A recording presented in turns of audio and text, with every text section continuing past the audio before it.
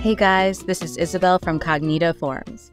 Today I'm going to show you how to easily create multi-page forms. Using multiple pages is a great way to break up long forms, group related information, and help pace your users through your form. Let's get started by opening the Form Builder.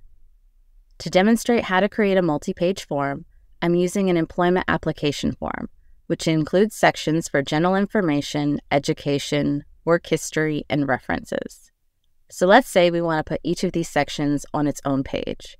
To do this, we'll add a field to where we want the second page to start and select Page Break. Now our form has a second page starting here. In the Page Break field settings, you can edit the text for the Next button that takes users to the next page.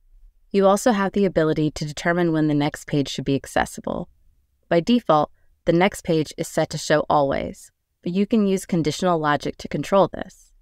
For example, we can make the page appear only when the applicant fills in both their first and last names. Now, insert another page break. You can now give users the option to return to the previous page and edit the text with the back button. To get an idea of what our form currently looks like, let's preview it.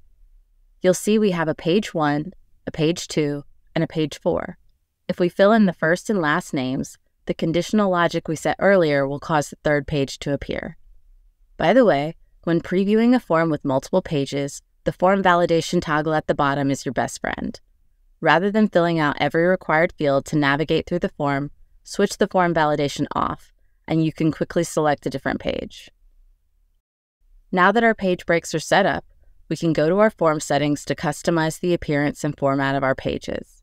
Currently, our progress bar is set to the steps option, but you can change this to a bar option or choose not to show a progress bar at all.